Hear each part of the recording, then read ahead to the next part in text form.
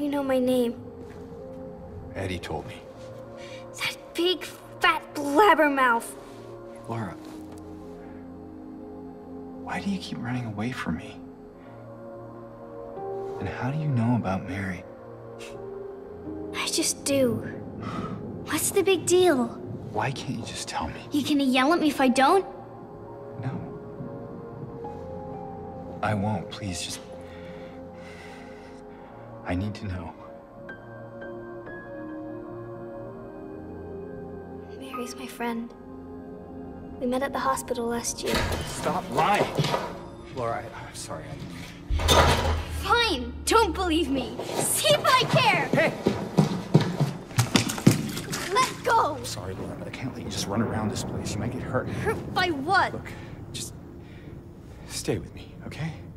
This is no place for a kid. Fine. But there's something I gotta get. Laura, uh, It's important. what is it? A letter. For Mary. What? I hid it. In there.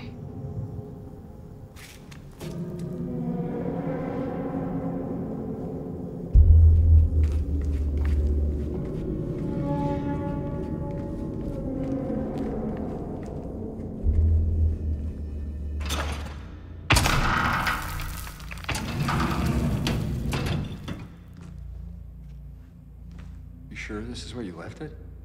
It's in the back. Behind an old pipe. Okay, wait here. Laura? Open the door, Laura. Why should I?